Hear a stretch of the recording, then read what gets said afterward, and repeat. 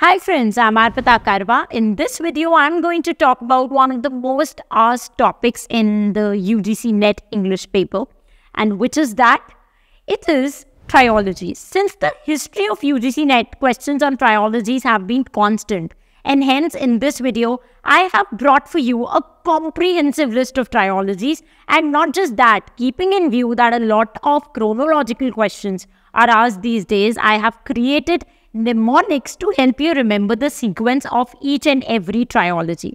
Excited, right? Let's dive into it. But before that, let's understand the meaning and history of triology.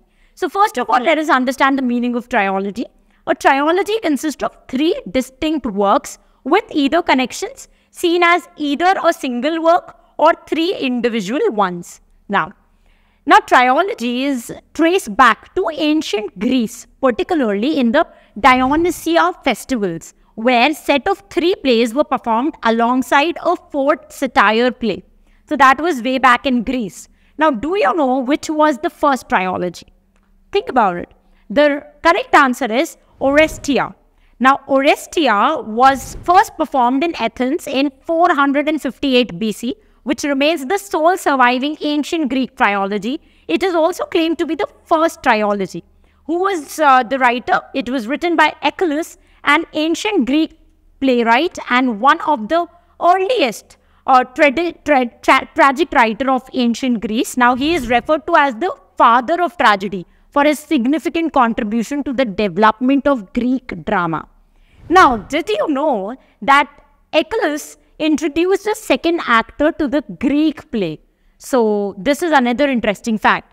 Now this trilogy that we are going to talk about consists of three works, Agamemnon, Cephalon and Eudemons. Now trick to remember the sequence is to remember the word ACE. A-C-E stands for the three works. So you remember the title. Okay, now let's look at the short summary of each of these plays. The first one is Agamemnon. Now this deals with the story of Agamemnon who comes to Argos after the Trojan War and his murder happens by his wife Clytemnestra. Now the second work is Choephori or the Libation Bearers and this is the story of vengeance of Orestes and Electra, son and daughter respectively of Agamemnon who murder their mother Clytemnestra and the lover Aegisthus. Now, a question from this text was asked in UGC NET 2021, so do remember it. The third work is Eumenides. Now, this tells the story of a trial of Orestes by Athena, who is goddess of wisdom. In the end, she sets Orestes free. A question based on this trilogy was asked again in June 2023 exam, and the question is right in front of you. So you can understand by looking at the question that how important it is to know the names of these triology uh, and the plays that are a part of this triology. So ensure that you write it down somewhere in your notes. Also, pardon me for pronunciation because these are Greek text and there are various pronunciations available for these texts. So I am just using the British pronunciation. There might be multiple other pronunciations. So you might feel as if the pronunciation is not appropriate. So pardon me for that. Okay, so now move on to the second work. The next one in line is Theban plays or the Oedipus cycle. Now, this trilogy was written by Sophocles in the 5th century BC. Now, it deviates from the true trilogy concept as the plays were written separately and with different themes with uh, different purpose. So, this trilogy includes three plays. Now, the first one is one of my personal favorites, which is Oedipus Rex or Oedipus the King. Now, this first play revolves around King Oedipus of Thebes, who seeks to solve the city's plague by discovering the murder of the former king Laius. Now, as Oedipus investigates, he unwittingly reveals a tragic prophecy that he will kill his father and marry his mother. Now, the play unfolds with Oedipus gradually realizing the horrifying truth about his own identity and his own actions. The second one is Oedipus at Colonus. Now, this second play follows the now blinded and disgraced Oedipus as he seeks refuge in a sacred grove at Colonus. Now, his daughters are Antigone and Ismene. Uh, now, they play the prominent roles as Oedipus faces the consequences of his own earlier actions. Now, the play explores the themes of redemption, family ties, and divine justice. The third one is Antigone. Now, although this is not a direct continuation, Antigone is often considered part of this Oedipus cycle. It focuses on Oedipus' daughter Antigone, who defies the king's decree to leave her brother unburied after a failed rebellion. The play delves into the themes of morality, duty, and clash between individual and state authority. Now, together, these plays form a tragic narrative exploring the complexity of fate, free will, and consequences of one's action in the context of Greek mythology and the ancient Greek society. So that was all about um, this particular play. Now, the best way to remember these three titles are to remember this line King and clown are gone. Now, your king is for Oedipus the king, clown for Colonus, and gone is for Antigone. So, if you remember this line, king and clowns are gone, you will remember the three works. Okay. Now, before we move on to the next point, here is something that I want to share. If you're preparing for UGC NET Paper 1 or Paper 2 MA entrance, PhD entrance, English, literature, exams like TGT, PGT, UPSC, GATE, SET, so please, uh, there is a great news for you and I would really request you to go and visit our website where you will find detailed online video course for all these exams. In all our video courses, we provide you with topic-wise video lectures with rich animations covering all topics in a step-by-step -step manner which works even when you've not done any previous preparation.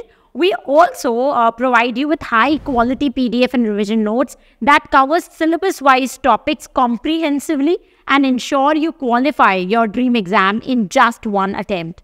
Along with video lectures and PDFs, we also offer test series that consist of more than 3000 unit-wise questions that comes with detailed explanation.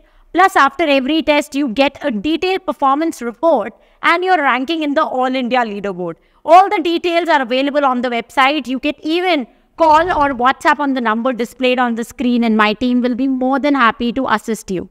So with that note, let us move on with the video and talk about the third important trilogy.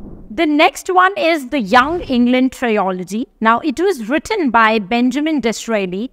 Now, it consists of three novels that reflect the author's political and social views during the early Victorian era. Now, here is a brief summary of each of the three novels so that you don't miss out on any important information. So, the first one is Coningsby or the new generation. Now, the first novel follows the life of Harry Coningsby, an orphaned young man, as he navigates the political and societal landscape of early 19th century.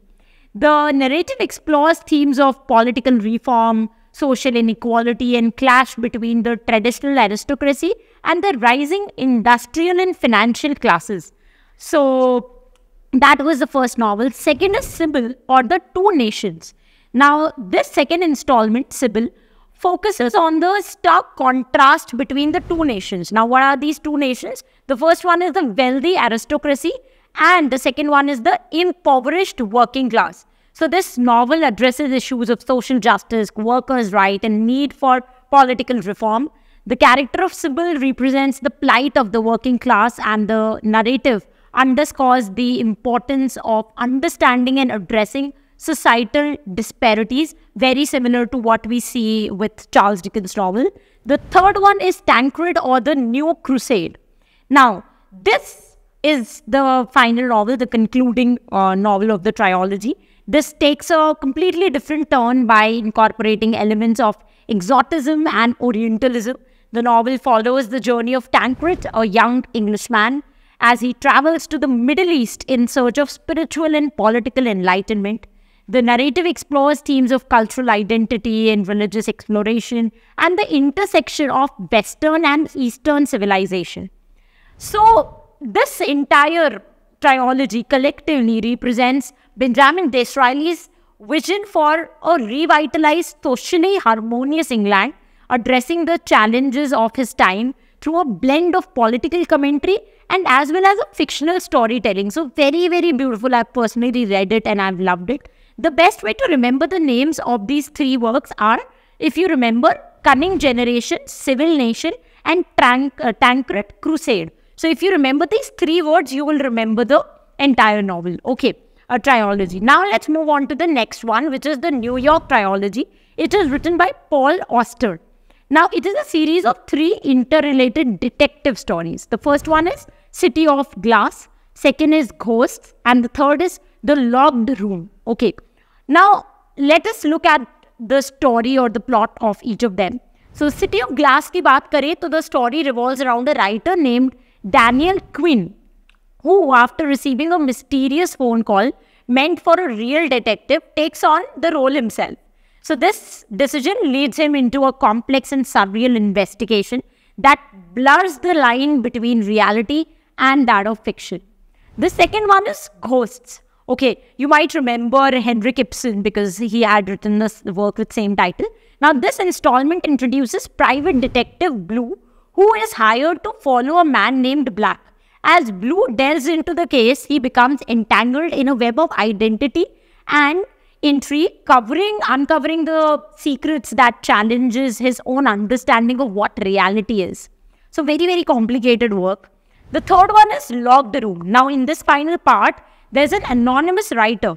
Now, this writer is being given the task of completing the works of his vanished friend. As he immerses himself in his friend's writing and life, he finds that fiction and reality becomes increasingly difficult to separate, leading to a captivating exploration of identity and storytelling. Now, how do you remember the names of these three works? If you can just remember this. In the City of Glass, they keep ghost in a locked room. So if you remember these three, you'll good to you are good to go.